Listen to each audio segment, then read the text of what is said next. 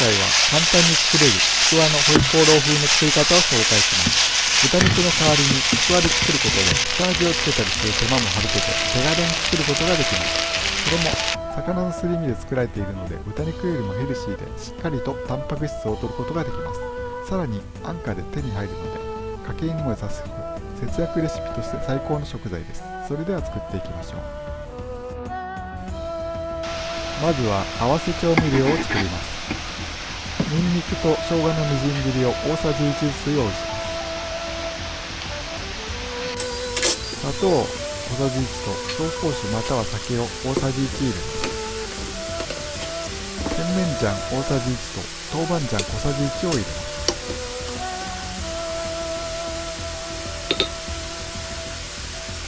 水を 50cc 入れます。醤油大さじ2分の1を入れよく混ぜておきます。材料はちくわ5本を斜めにカットしたものと食べやすい大きさに手でちぎったキャベツ 100g とピーマン1個分です。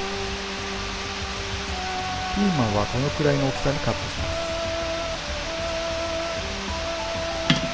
あと先ほど作った合わせ調味料です。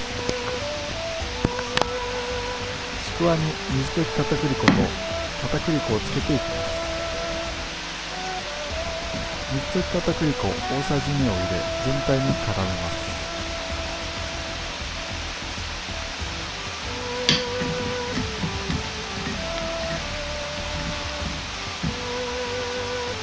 片栗粉を大さじ1くらい入れまぶしておきます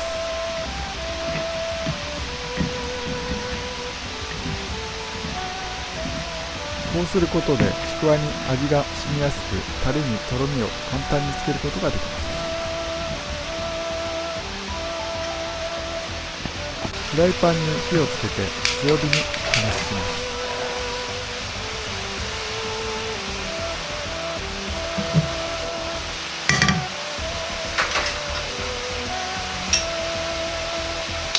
ラードを大さじ1入れてよく溶かしていきます。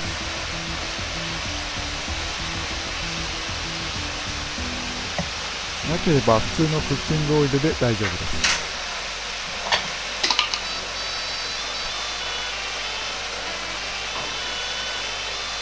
フライパンにしっかりと油をなじませていきます。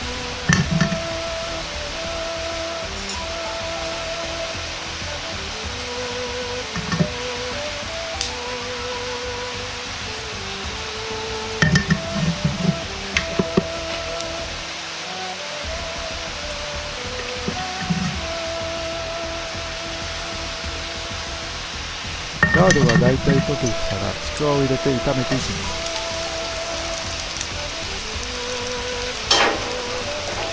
ちくわについている余分な片栗粉は落としてから入れるといいです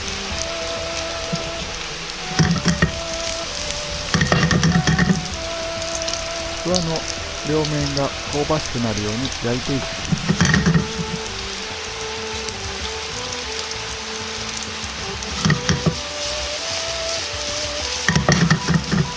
ここでまぶした片栗粉が多く残っていると焦げやすいので注意しましょう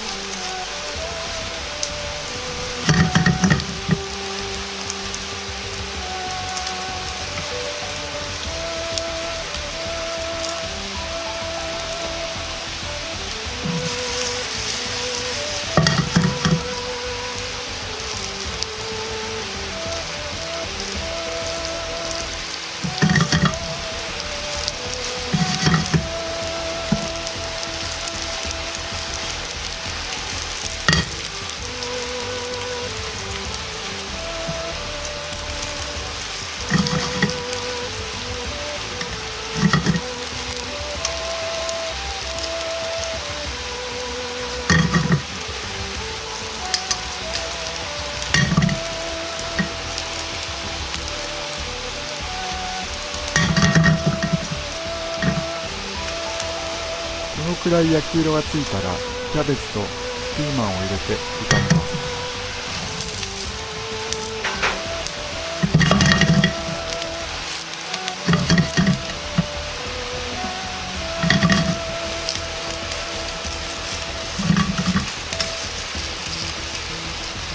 スなどを使って底の方からかき混ぜるようにして炒めます。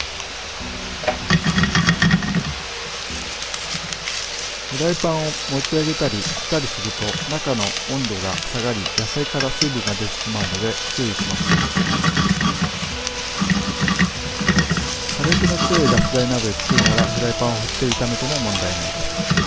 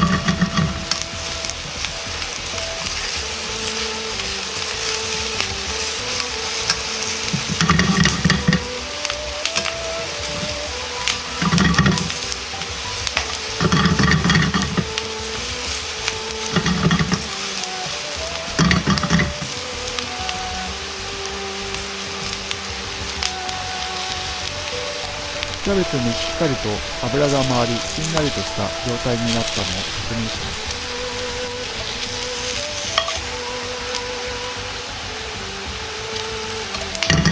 そうしたら合わせ調味料を入れます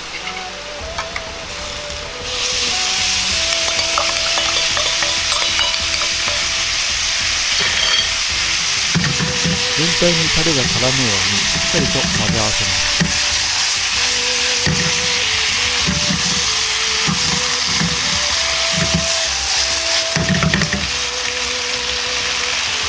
仕上げに香り付けにごま油を少量入れます。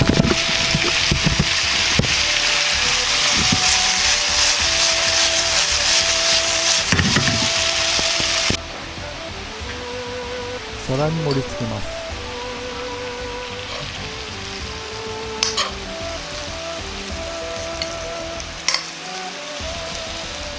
見た目もしっかりとホイコーローになっています。